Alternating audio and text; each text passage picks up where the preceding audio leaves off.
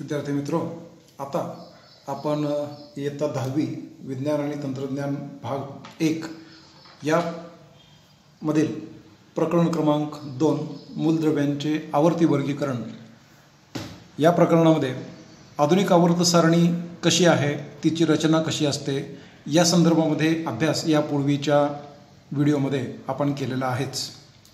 आता आपण या ठिकाणी मूलद्रव्यांची जी मांडणी आहे ही मांडणी त्यांच्या इलेक्ट्रॉनिक संरूपणावर आधारित असल्यामुळं ती अधिक सूत्रबद्ध पद्धतीनं झालेली आहे असं आपल्याला सांगता येतं. आता याचा अर्थ काय? तर या ठिकाणी मूलद्रव्यांच्या अणूच्या बाह्यतम कक्षेमध्ये इलेक्ट्रॉनची संख्या किती असते? आणि त्या इलेक्ट्रॉनच्या संख्येवर आधारित त्यांचे गण पाडलेले आहेत. त्याचबरोबर त्यांचे गुणधर्म ज्या पद्धतीनं निश्चित होतात त्या गोष्टींचा आधार घेऊन या ठिकाणी इलेक्ट्रॉनिक संरूपणावर आधारित अशा प्रकारची ही आवर्तसारणी आहे असं म्हणायला हरकत नाही. आणि मांडणी चार खंडांच्या मध्ये केलेली आहे. एस पी डी आणि एफ.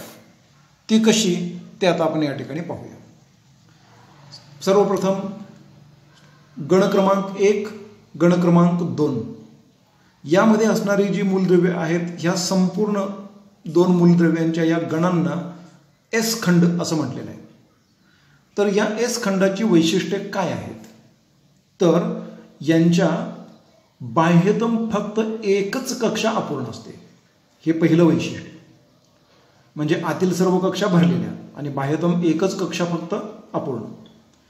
त्यानंतर यांच्या बाह्यतम कक्षेमध्ये एक किंवा दोन इलेक्ट्रॉन असणार आहे म्हणजे या सगळ्यांच्यामध्ये एक इलेक्ट्रॉन बाह्यतम कक्षेमध्ये असेल. आणि या सर्व मूलद्रव्यांच्या बाबतीमध्ये अणूमध्ये त्यांच्या दोन इलेक्ट्रॉन असतील. बाह्यतम कक्षेमधल्या इलेक्ट्रॉनची संख्या दोन असेल. अशा पद्धतीनं एक किंवा दोन इलेक्ट्रॉन असणं हे त्यांचं वैशिष्ट्य आहे.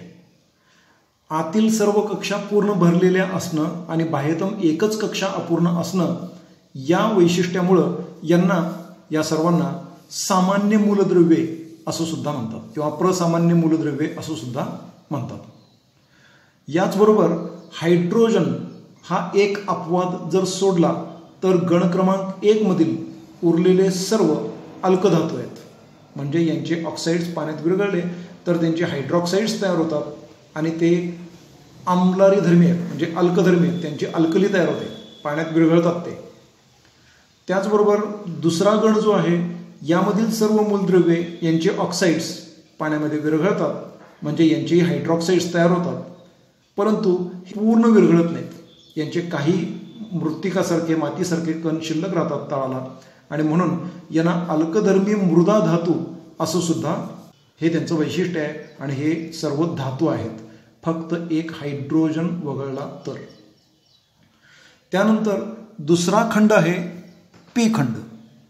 या पी खंडामध्ये आपण आता पाहूया की या ठिकाणी ही जी काही नागमोडी रेषा दिसते या नागमोडी रेषेच्या बाजूला असणारी जी काही सर्व मूलद्रव्ये आहेत म्हणजे boron aluminium silicon germanium arsenic antimony tellurium polonium astatine वगैरे वगैरे हे सर्व ही धातू सदृश मूलद्रव्ये आहेत. आणि त्याच्या उजव्या बाजूला सगळे अधातू डाव्या बाजूला सगळे धातू. आता या पी गणाचं किंवा पी खंडाचं वैशिष्ट्य असं आहे की या पी खंडामध्ये बाह्यतम एकच कक्षा फक्त अपूर्ण असते आणि उर्वरित आतील सर्व कक्षा अणूंनी किंवा सॉरी इलेक्ट्रॉननी पूर्ण भरलेले असतात आणि बाह्यतम एकच कक्षा फक्त अपूर्ण असते. यांच्यामध्ये बाह्यतम कक्षेमध्ये असलेल्या इलेक्ट्रॉन्सची संख्या तीन ते आठ इतकी असते. हे सुद्धा अंतर्गत सर्व कक्षा पूर्ण भरलेल्या असल्यामुळं यांना सुद्धा प्रसामान्य मूलद्रव्ये असं म्हटलं जातं. यामध्ये धातू सदृश मूलद्रव्ये धातू अधातू निष्क्रिय वायू मूलद्रव्ये अशा प्रकारचे सर्व मूलद्रव्ये या ठिकाणी त्यांच्यामध्ये समाविष्ट होतात त्यानंतर तिसरा खंड आहे डी खंड. आणि या डी खंडाचं वैशिष्ट्य असं आहे की यांच्या बाह्यतम दोन कक्षा अपूर्ण असतात. आणि बाह्यतम दोन कक्षा अपूर्ण असतात म्हणजेच त्यांच्यामधील बाह्यतम कक्षेतील इलेक्ट्रॉन्स कधी खालच्या कक्षेमध्ये जातात कधी वरच्या कक्षेमध्ये येतात. आणि अशा पद्धतीनं ते उड्या मारत असल्यामुळं त्यांच्यामध्ये असलेल्या ऊर्जेच्या संबंधामुळं त्यांच्यामध्ये परिवर्ती संयोजन दिसते. म्हणजे संयोजा बदलत राहतात. अशा संयोजा बदलणाऱ्या मूलद्रव्यांचा हा खंड आहे. आणि म्हणून त्यांना संक्रामक मूलद्रव्ये असं सुद्धा म्हणतात.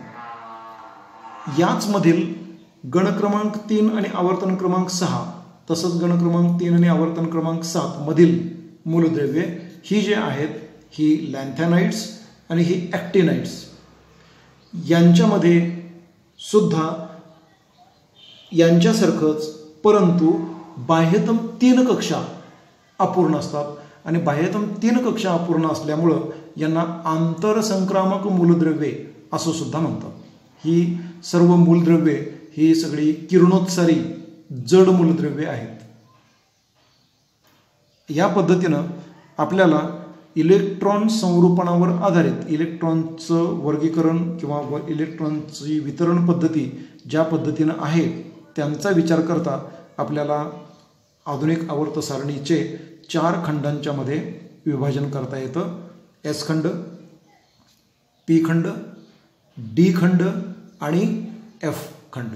धन्यवाद.